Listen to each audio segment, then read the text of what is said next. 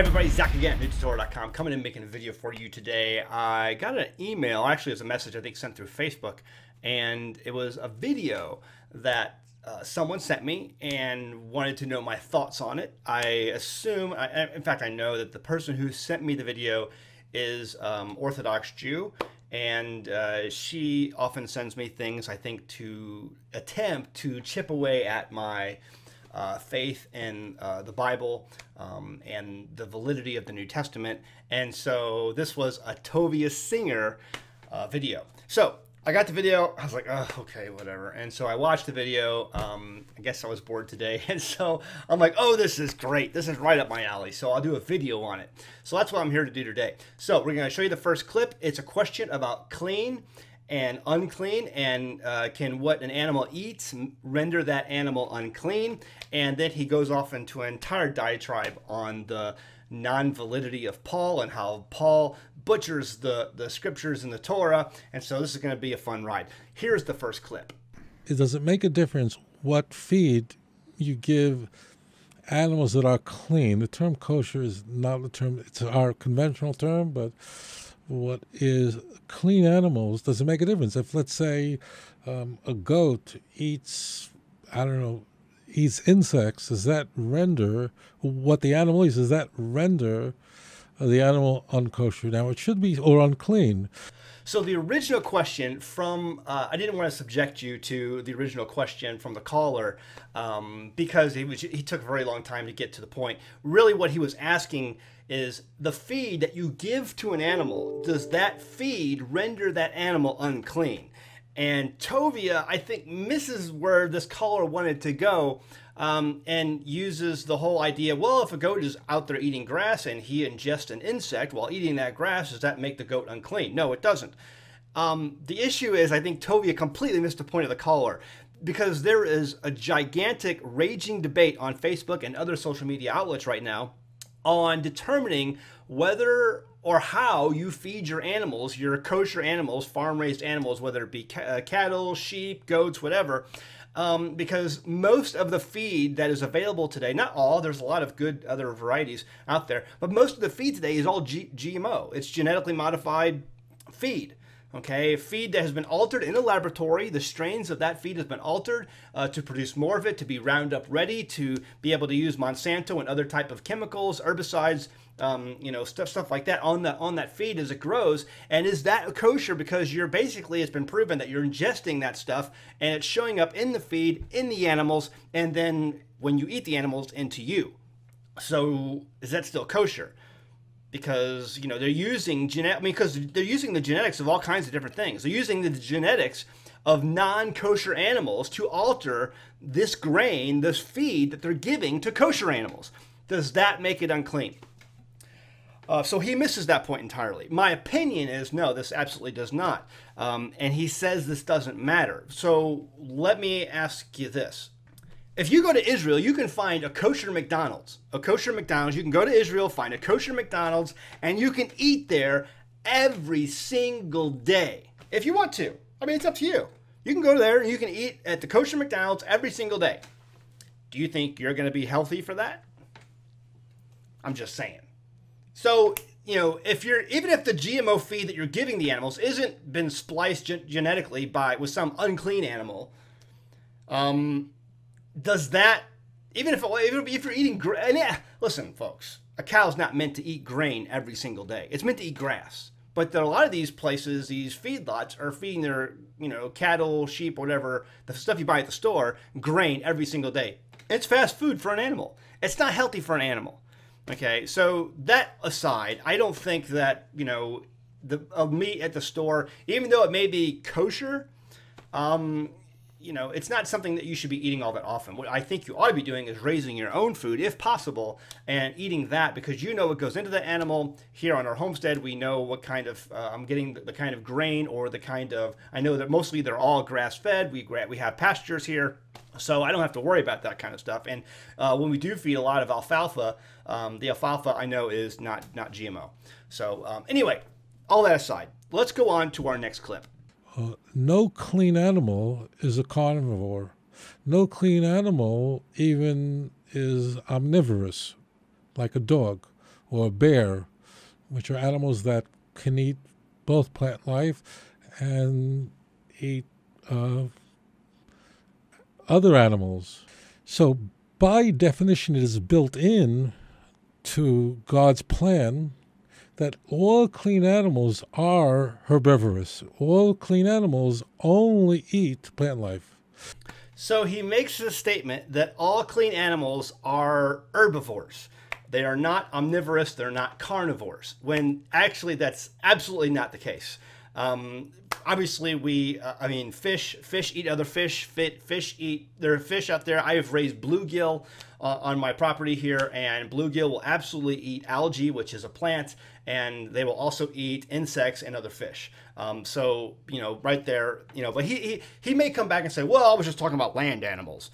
Well, if that's the case, he didn't specify birds, fowl. We know chicken. Chickens will absolutely eat insects. They will eat mice. They will eat their, themselves. They will also eat plants. They'll eat lots of plants, but they'll also eat animals. Okay, turkeys will do the same thing. Quail, quail can can eat insects and eat plants. Quail, actually, if you look it up, will, will also be are also cannibals uh, under certain circumstances, even in the wild. Uh, so I looked that up I, before I made the video because I know a lot of fowl, clean fowl, are you know cannibals. They are omnivores. They eat insects, animals, and plants. Um, you know, mostly they prefer grains and plants, but they will eat other animals. Chickens will will absolutely devour uh, meat if you give it to them. So, um, if he comes back and says, "Well, Zach, you know, you know, it's just talking about land animals. You know, those who have the chew the cud and split hoof. Well, you didn't specify. You're talking about animals, and so I think this is someone listening to this is going. This is see. This is why we have people out there saying, "Well, we shouldn't be eating chickens," because Rabbi Tovia Singer says all animals, all clean animals, are supposed to be, um, you know, herbivores. But that's not the case. It's not the case, and we know that the Israelites ate quail Chicken really isn't mentioned in scripture, but we know they ate quail, and quails are just as much as cannibals as chickens. Chicken or quail will eat insects just like they will eat plants. So I mean, it's it's. It, I think there's a, a, certain amount of ignorance on the part of Tovia here. Um, and let's be honest here. Tovia lives in Queens, New York. Queens, New York City get out of the city once in a while. Come out to the country, live here for a couple years, get a real grasp on the creation of our Father, and see what He's doing, see how He built His creation, and then, you know, apply the scriptures to it. Let's go to our next clip. And therefore, we are. It is forbidden in the Torah to cause an animal any kind of stress, to cause any kind of suffering to a creature. This, this right here is a common argument I hear from a lot of Orthodox Jews. Uh, this is also on many Orthodox Jewish websites. They will say that you are not allowed to hunt because by hunting, you're causing the animal stress, you're causing the animal pain and suffering, and that's not allowed. You're not allowed to do that. And they use Deuteronomy 25:4. All not to even mention that in Leviticus. It gives you explicit instructions if you do hunt. You can hunt. It gives the children of Israel the ability to hunt. But let's go ahead and read the verse from Deuteronomy. Deuteronomy 25, 25, verse 4 You shall not muzzle the ox when he treads out the corn, or in some variations it says when he's on the threshing floor or such. Does it say anything in that verse about suffering? Does it say anything in that verse about stress? No. It says, You shall not muzzle the ox when he treads out the corn. See, and this is completely lost on people because they've never been in a farming community. They've never been in a farming mindset. They don't understand how grain is harvested. When they would tread out the or thresh out the corn or thresh out the grain, the ox would not be muzzled so that he could get his share. He could eat while he's working. It's the same with lots of animals. You don't, you know, you want your animal because it's a working animal. You want the animal to enjoy their job. You know, you want them to look forward to coming to the threshing floor because if he starts fighting you, now you have an animal that you can't use for anything. The animal's purpose is to be used on the threshing floor so that you can get your grain. It's the same with milk cows. You have a milk cow, you bring the milk cow to the milking stand and you feed the milk cow. I have lots of friends who have milk cows. We have our own milk cow. We're waiting for our first calf. But all of the people I know who have milk cows, they feed their milk cow when it comes time to milking that day or, or twice a day. You feed you want the animal to look forward to come to the job it's required to perform. And so you feed it. That's what that verse is talking about. It has nothing to do with suffering. It has nothing to do with stress. Again, again, we have a rabbi who lives in Queens, New York, who's I mean, I, I say I say this often. So when you know, in my agricultural study series that I have, uh, that I give lectures on when I go and travel. Um, do you think that a cab driver who lives in New York City will ever understand the lifestyle of a cattle rancher who lives in Texas? No, of course not. But do you think that cattle rancher living in Texas will ever understand fully the lifestyle of the cab driver living in New York City? No, absolutely not.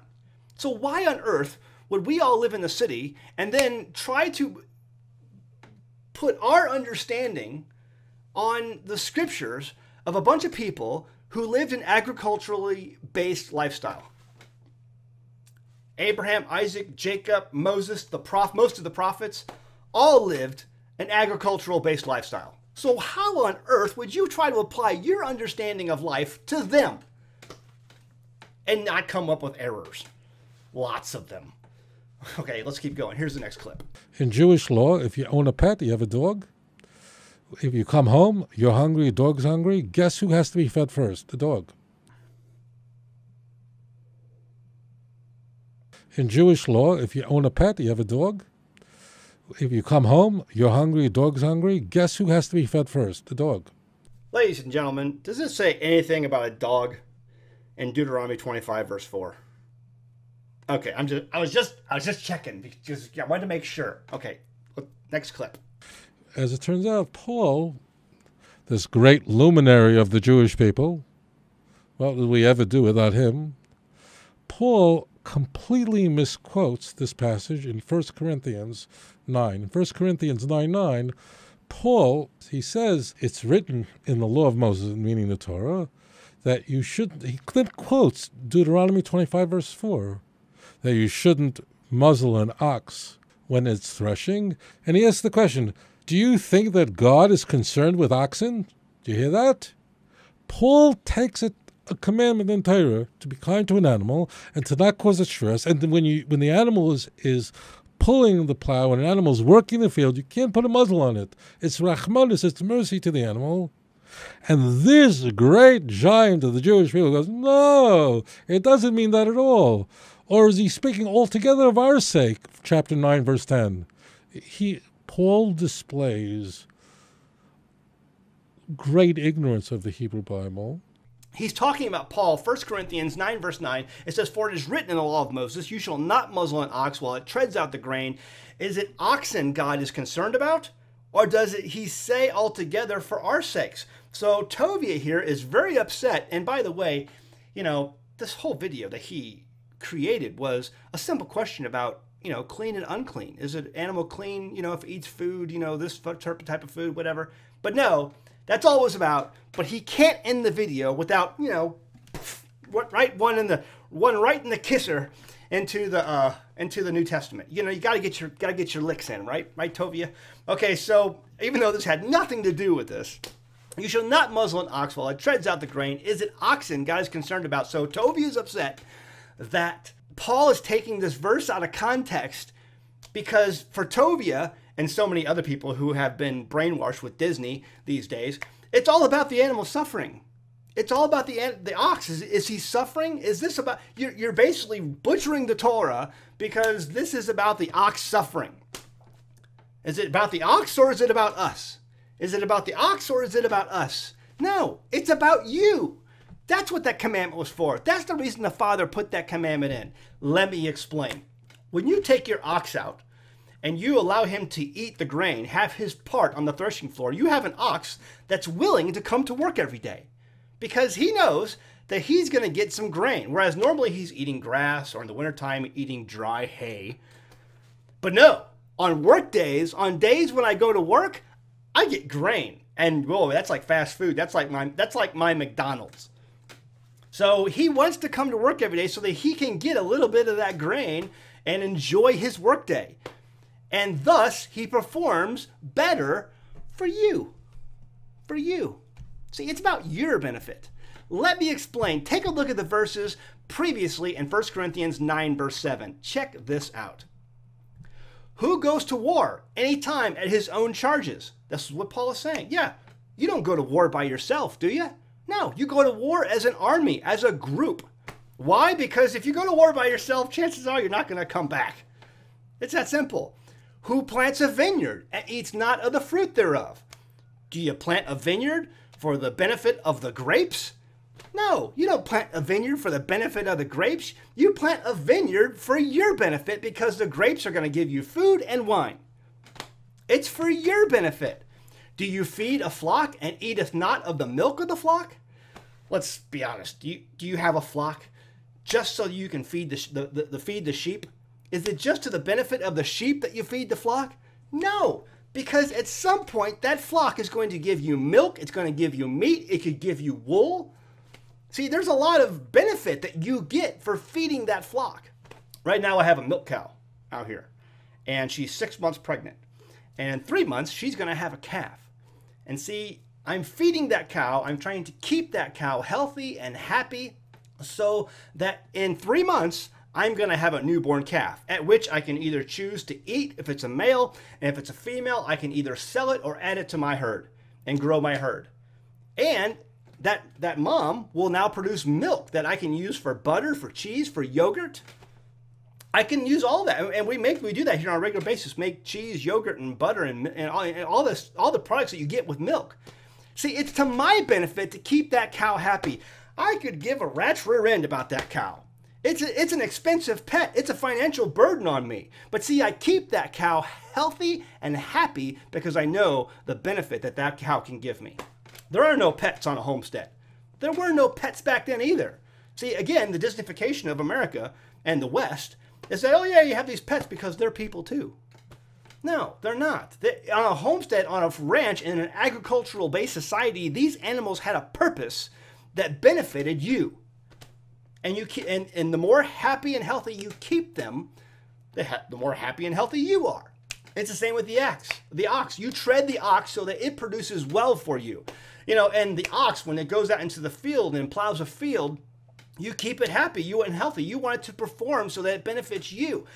The ox was the ancient tractor of the day. I have a tractor. We have a Massey Ferguson tractor here on the homestead.